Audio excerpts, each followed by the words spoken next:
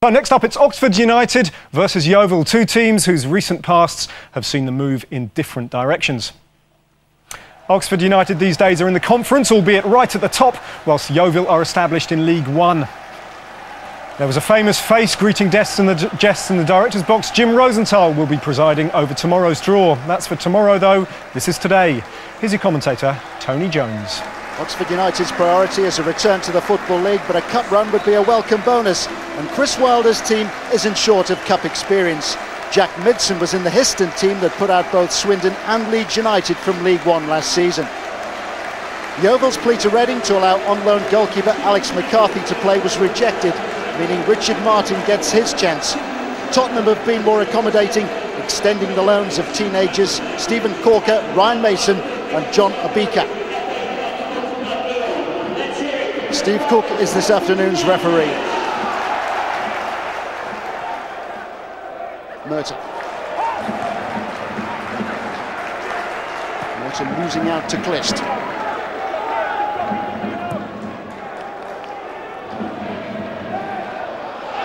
Helped away by Caulker. And Green is in here. It's come back out to Midson. And Green was actually in an offside position then, but worrying moments for Yeovil then. Alcock initially in trouble. Didn't get hold of the clearance, it was jabbed forward to Green. Brave goalkeeping by Martin, who was able to recover quickly enough to ensure that he got there. Yeovil now managed by Terry Skiverton, who scored Yeovil's equaliser in the first round last season against Stockport County.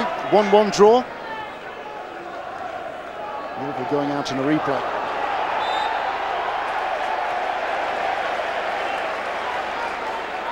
Nixon managed the flick on then, but the whistle had already gone.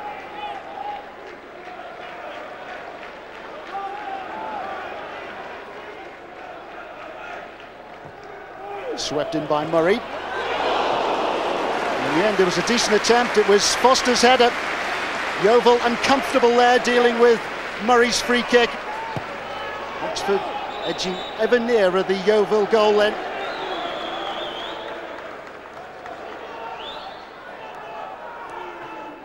Obika.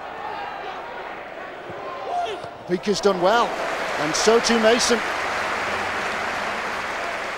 Two boys from Tottenham combining well then. Obika's strength initially to create the opening there for Ryan Mason.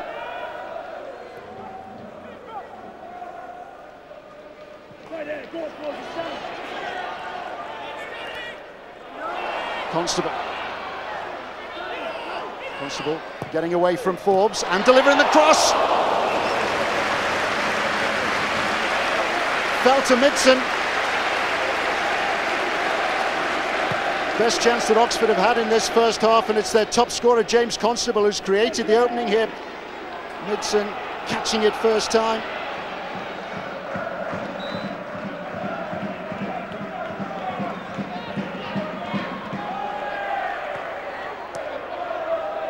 Here's Green. Now Constable. He's done well to turn.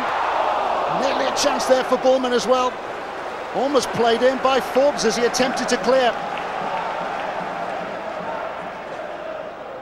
Terrific work initially by Constable to hold off the first challenge. That was Chris Wilder who took over at Oxford from Darren Patterson in December last year. Briefly had a spell as Alan Knill's assistant at Bury. Now Clist.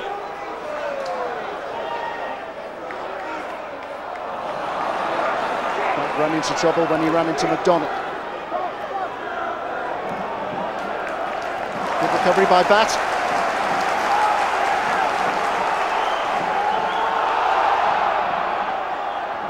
Bulman with McDonald snapping at his heels. Murray has been able to find Green. And Midson's there! And Oxford United have taken the lead. Brilliantly taken by Jack Midson.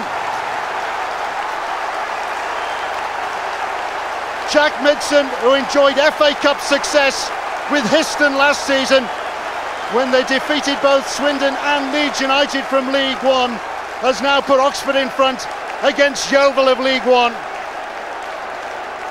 Tremendous determination then from Oxford. Batt to win the ball back initially.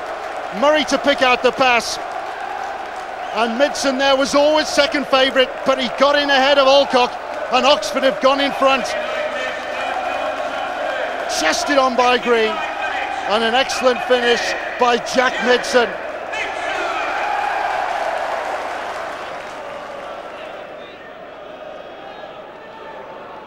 O'Callaghan.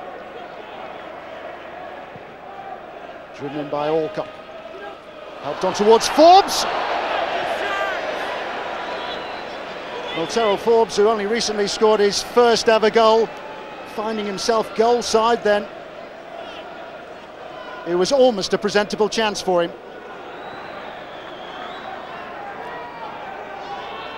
Here's Alcock. Murtagh again. O'Callaghan, one of the two substitutes who's done well to pick out Alcock. Angle is right. McDonald. There's a bit of ping pong going on inside that Oxford United penalty area, but they've managed to keep Yeovil out. And it's a Beaker with a header which is just wide. O'Callaghan who created the opening for Alcock's run. And it fell to McDonald, and it was the joint efforts of Foster and Creighton which kept Yeovil out.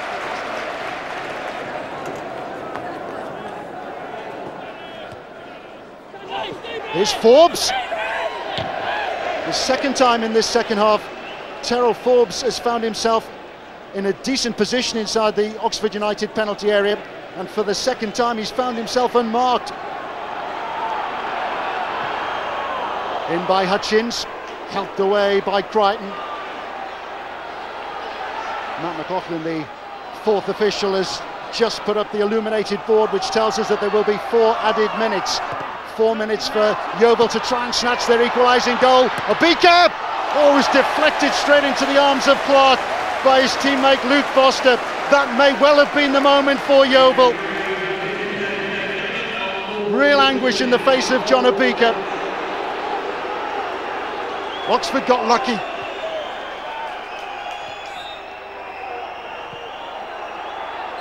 Chris Wilder is pointing at his watch because his team, of the football conference, are through to the second round of the FA Cup.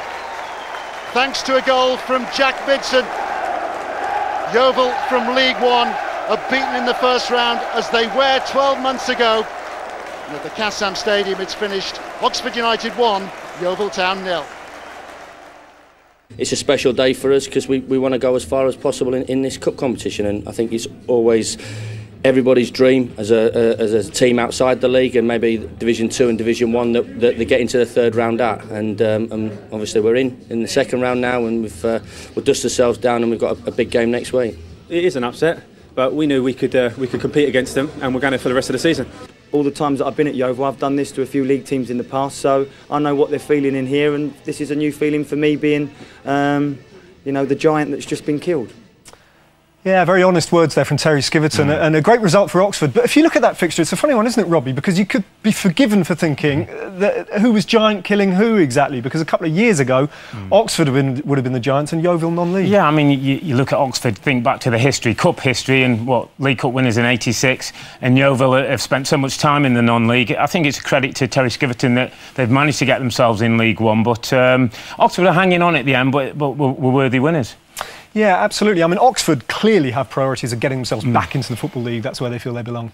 Yeah, they do, and, and, and nothing will sway from that. But, but it was good that Chris Wilder's saying they want to be in this competition as well. I, I don't believe that you should almost say, let's forget the Cup and just concentrate on the league. Winning breeds success and, and confidence. And I think that they'll want to get to the third round, get a big draw, and then see how far it takes them. And I suppose the bottom line is, Robbie, wherever the club sets their priorities in terms of Cup or League, mm when they cross the white line and get onto the pitch, especially non-league players, they're going to show that they, they're, they're worth a place in the league. well, it was a great occasion for I think Oxford United as a football club and the players to say that they all really they should be back in the football league, and that will give everybody at the club confidence that they're on the right road.